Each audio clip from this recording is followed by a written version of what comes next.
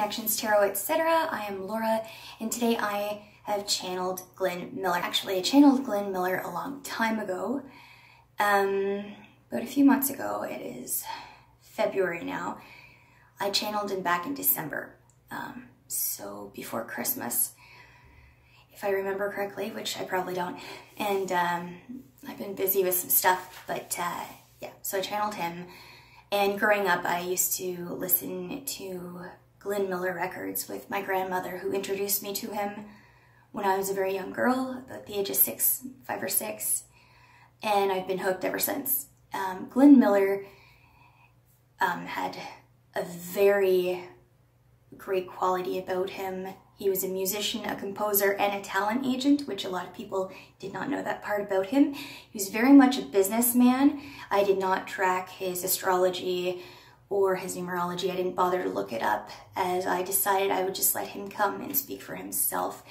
He came through, but he's actually very reserved and shy, and he's also a very private person, or soul. Um, he was a very private person.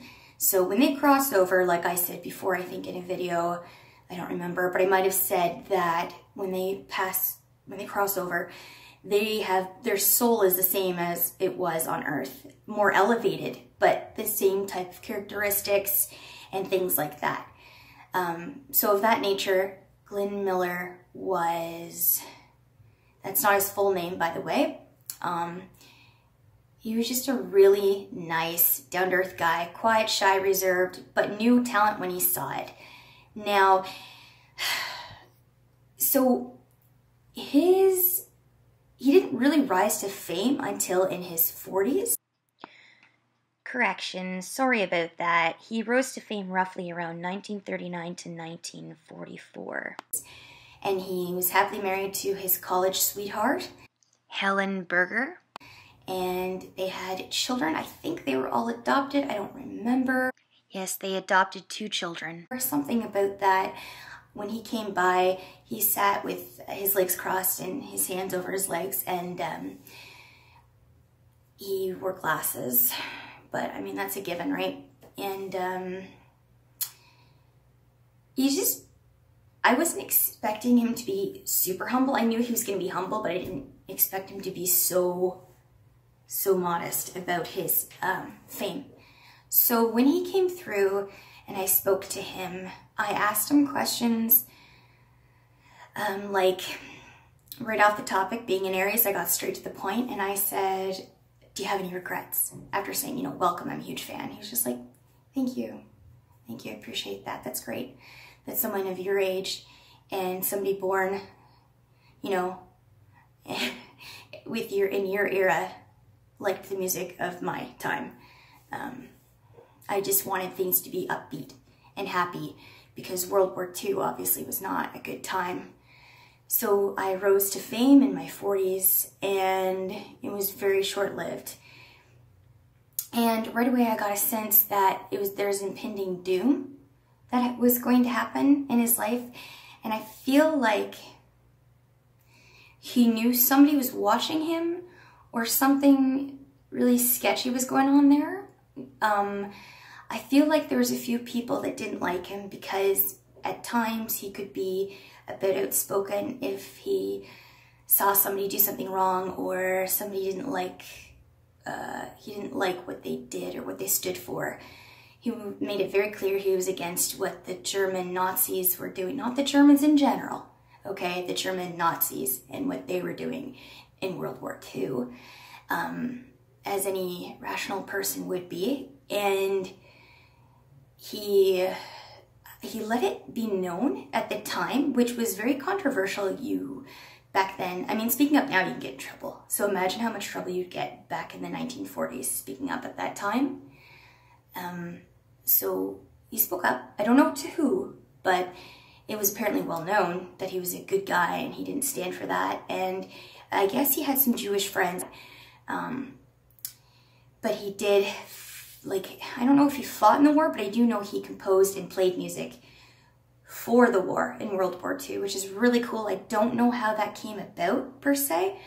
I feel like I'm not getting the full story. Just like when I asked him about his death. Glenn was supposed to fly from the United Kingdom to Paris on December 15, 1944. The media then declared his disappearance on 1924, 1944. That's nine days after he passed away. Not only is that incredibly sketchy, for obvious reasons that I'm going to get into in a minute here, but also um, it's so sketchy that his family are looking into it right now and they started to investigate as of 2019. I was really stressed out and concerned and just went, I don't really want to talk about it. All I'm going to say is what happened shouldn't have happened. So when I went and looked it up, his plane, there, he flew a plane, somebody drove it, and it, the engine shut off or it disappeared or something like that. I have to question why it took them, what, like 30 days or so? It was actually nine days, not 30. For them to have found his body and announced that he was deceased. When he had a show that was due, I think, the very next morning or in the next couple of hours. I'm feeling like it's the next day. It was the next morning that he was due to play. But anyway, um, it wasn't kosher. So his death 100% is conspiracy theory and somebody was out to get him. I don't know if the pilot um, was in on it or if they set the pilot pilot up as well, but I can tell you it was not allegedly, so I don't get sued. It was not um, by accident. Now, normally I don't go into conspiracy theories and stuff like that unless I know for sure it's a thing, but I, you know, and this is one of those times I know for sure his death was not normal.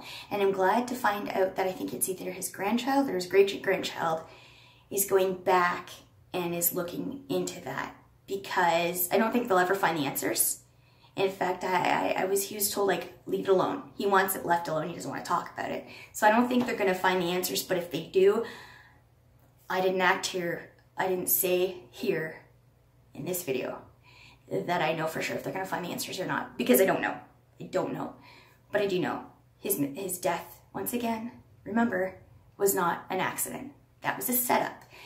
Why I'm not sure. I think it was because he was outspoken, and I think it was because he had some friends that were Jewish but I'm not sure. And something, he said something about Jewish ancestry, but I'm not sure what that is. I tried to look it up, I couldn't find it. So if you know the answer to that, let me know. Um,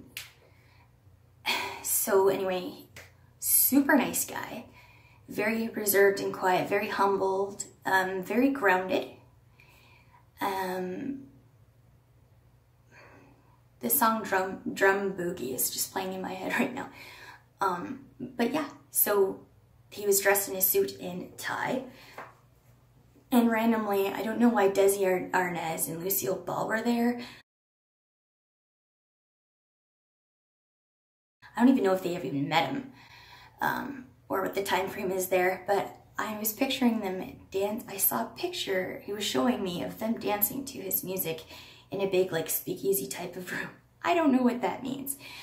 Um, So I don't know if that has anything to do with him at all, if he was a fan of them, what that was about.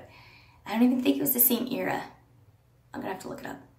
So yes, it was the same era, which is really cool. Maybe they met, maybe they didn't. I don't know, but I do know he was good friends with Benny Goodman, and uh, Louis Armstrong was a big fan of his. He was against racism at all costs. Back in that time, if you were not if you were outspoken about racism, it was a problem.